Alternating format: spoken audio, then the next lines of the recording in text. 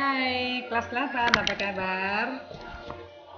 Baik, hari ini kita akan ketemu kembali di dalam materi pembelajaran kita tentang teknik memainkan alat musik. Baik, sebagai tujuan pembelajaran kita, siswa diharapkan dapat menjelaskan bagaimana teknik memainkan alat musik. Oke, anak kami sekalian, kita buka dengan doa Bapa Putra dan Roh Kudus. Amin. Tuhan, pada kesempatan ini kami bersyukur kembali kepadamu karena Engkau tetap setia bersama kami hingga pada saat ini.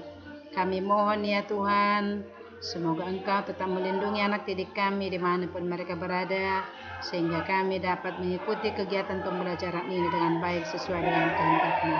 Inilah doa yang kami sampaikan kepadamu ya Tuhan karena Kristus Tuhan kami. Amin. Bapa dan Putra dan Roh Kudus. Amin. Halo anak kami kelas 8. Selamat jumpa kembali dalam pertemuan kita ini. Anak kami sekalian, instrumen musik tradisional sangat banyak macamnya.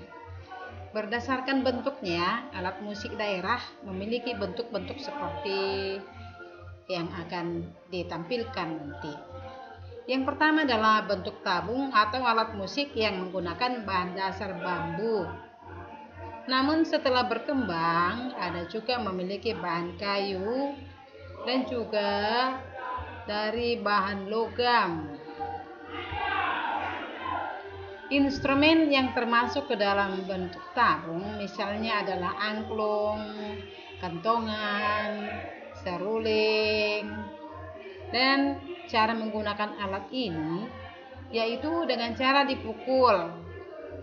Kemudian bisa jadi dengan cara e, menggoyang ya, digoyang atau juga ditiup. Nah, lihat gambar yang ada ya. Ini adalah gambar alat musik angklung. Jadi kalau kita mau e, menampilkan satu lagu, kita hanya e, goyang saja misalnya e, angin mandiriku pasang. Sol sol. Jadi nada sol. Sol sol. Jadi sol sol. Do mi sol mi sol la mi. Jadi nada-nada ini yang uh, akan kita goyang melalui angklung tersebut sehingga bisa menampilkan sebuah lagu ya. Contoh. La la la la la la la la la la la la la la la la la la la la la la la jadi sol sol do mi sol mi sol la mi sol do mi sol sol mi pare sol mi pare sol mi pare mi si re do jadi hanya menggoyang bambu sebagai alat musik tadi maka dia akan menghasilkan nada yang menyatu membentuk satu lagu. Seruling pun demikian, alat musik ini ditiup, ya. Sedangkan kentongan bentuknya seperti gambar yang terakhir.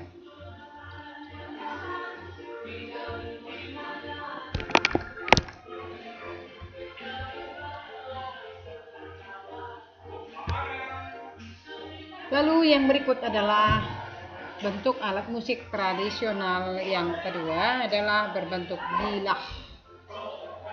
Bentuk alat musik ini tidak berongga dan kekuatan bunyi yang dihasilkan masih didukung oleh perangkat lain, yakni wadah kemas sebagai ruang resonator. Permukaan bilah ini dapat berupa bidang datar atau cembung atau berupa irisan bentuk tabung. Ini gambar sesuai dengan bentuk alat musik tersebut. Yang pertama adalah alat musik bilah, yang kedua adalah gambang, yang ketiga adalah kolintang, kemudian eh, saron dan gender ya. Oke, kami sekalian, nanti bisa kamu gambar itu kayak makin jelas. Bagaimana cara memainkan alat musik gambang, kolintang? Ini bukan kolintang ya, tapi kolintang kolintang. Ya sebentar. Saron dan gender yaitu dengan cara dipukul.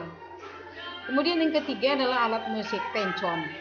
Istilah pencon berasal dari kata pencu dari bahasa Jawa, yaitu bagian yang menonjol dari suatu bidang datar atau yang diang yang dianggap datar. Pencu tersebut ada yang di atas, samping, dan terbuat dari logam. Alat musik ini ditata sedemikian dengan sistem nada dan penyusunannya yang berbeda-beda pada tiap daerah. Misalnya, yang pertama adalah bonang, itu untuk daerah Jawa atau Sunda. Yang kedua adalah terompong, itu untuk daerah Bali. Dan yang ketiga namanya adalah kromong, ini untuk daerah Betawi ataupun Jawa.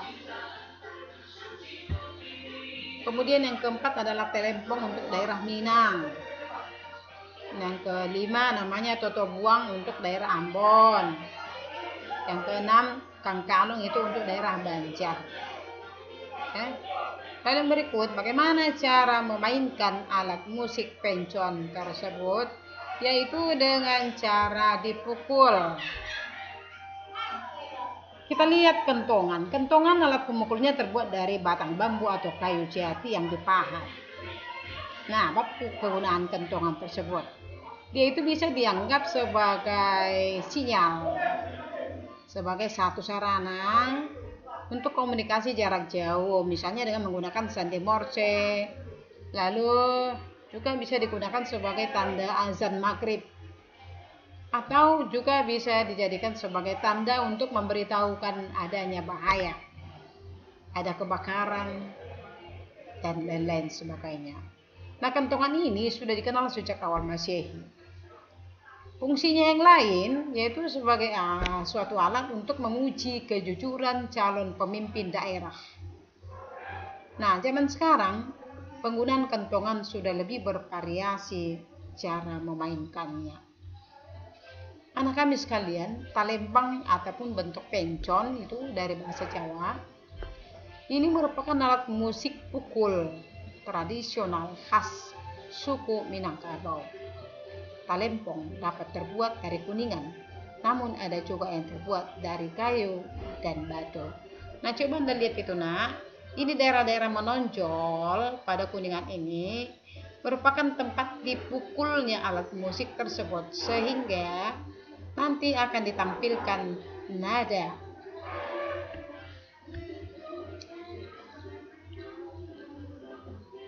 Diameter bundaran tersebut ada berkisar 5 cm.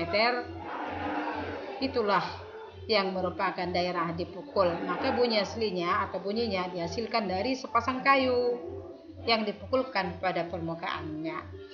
Ya, jadi kayu ditambah kuningan tadi itulah merupakan sarana musik tradisional khusus untuk daerah daerah yang sudah disebutkan tadi apakah daerah eh, Minangkabau, Betawi, dan lain-lain sebagainya.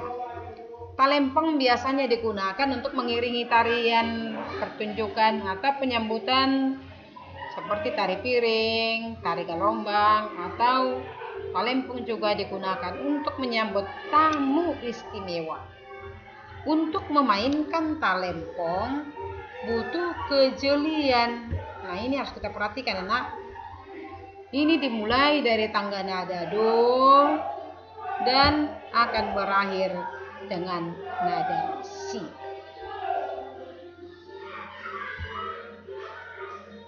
Talempong biasanya dibawakan dengan iringan akordeon atau musik pengiring. Instrumen musik ya seiring dengan uh, organ ya seirama organ yang didorong dan ditarik dengan kedua tangan pemainnya. Untuk kamu, karena kita sudah belajar tentang teknik memainkan alat musik tradisional tersebut, maka sebagai tugasmu yang pertama adalah jelaskanlah bagaimana teknik memainkan alat musik tradisional yang berbentuk tabung, berbentuk pilah, dan berbentuk pencon. Yang kedua, gambarlah alat musik tradisional tersebut ke dalam buku catatan. Yang ketiga, Tuliskanlah kegunaan alat musik kentongan yang kamu ketahui. Nah, anak-anak kami sekalian, sekian dulu pertemuan kita untuk hari ini. Silakan nak pelajari, catat ke bukumu, gambar yang perlu digambar, kemudian tugas nanti sudah Anda kirimkan ke WA Ibu paling lambat jam 20 WIB. Oke, sekian dan terima kasih. Kita tutup dengan doa. Bapa dan Putra dan Roh Kudus. Amin. Kemuliaan pada Bapa dan Putra dan Roh Kudus seperti pada permulaan sekarang selalu dan sepanjang segala abad. Amin.